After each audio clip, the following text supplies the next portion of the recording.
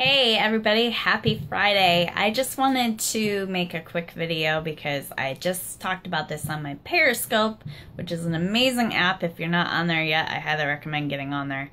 Um, but I have been thinking a lot about belief and how that really influences your results and just where you're headed in life. And I have a question for you that I asked myself recently. Do you really believe that your goals are possible? I had to think about that. I asked myself that, and I couldn't wholeheartedly say, yes, I do. And here I am, think, you know, here I am as a, a fitness and nutrition coach and working towards living life by my design, and I don't believe that it's really possible. Vulnerability. Ooh, man, here we go.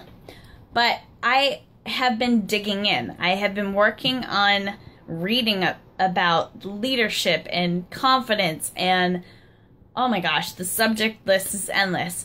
There's so much content out there that you can learn and overcome these things. And I have been recognizing whatever negative messages I play inside my head. And it's starting to change. I'm starting to actually believe it's possible. I have people that I interact with all the time that build me up, that tell me it's possible, and it's slowly and slowly getting stronger. This isn't an instant fix, but I wanted to encourage you that if you don't believe that your your dreams are possible, you can make a different choice today. Start surrounding yourself with people that will encourage you, that will push you outside your comfort zone so that you can grow, and that will start helping you to believe that what you want is possible. I know that this works, and I have an example for you. So, I was training uh, for my first marathon back in 2012, and I don't like really sharing this story because I was like always really humble and kind of embarrassed. But I had a, a friend of mine tell me that based on my half marathon time that I could qualify for Boston. I told her, no way, you're crazy, that can't happen.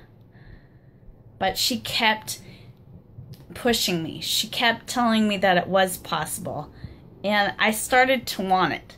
And I started to believe it was possible. And I put in the work so that on race day, when I crossed that finish line, I qualified and I went to Boston.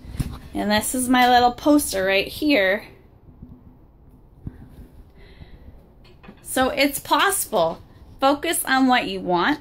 Focus on the people that can help get you there.